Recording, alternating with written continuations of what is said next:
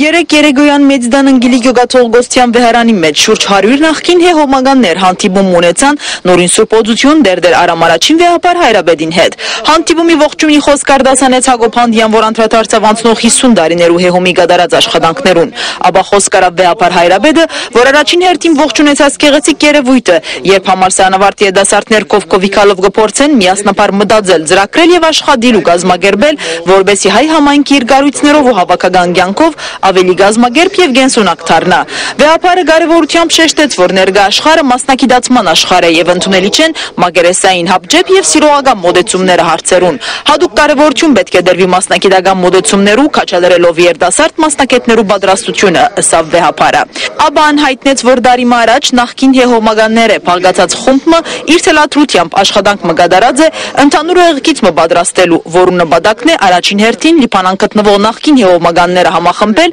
ապա դարբեր կաղուտներու մեջ հաստատված նախկին հեոմագանները մասնագիտ դարձել այս գործընթացին եւ վերջապես այս շարժումին ձիրը ընդլայնելով բոլոր հայ համալսարանավարտները ներառել նույն գործընթացի մեջ ոչ թե միություն կամ գազագերբություն հարաճացնել, այլ մղել համալսարանավարտները եւ քաչալերել զանոնք միասին մտածելու, ծրագրելու եւ աշխատելու մեր կաղութեն ներս։ Ապա ներկաները խոսք առնելով իրենց պատրաստակամությունը հայտնեցին մասնագիտ դառնալու այս կարևոր ծրագրին։ Նշենք, որ հեհոմը ստեղծված է Մեծդանը գիլիոգատող գոսության նախաձեռնությամբ 1963 թվականին։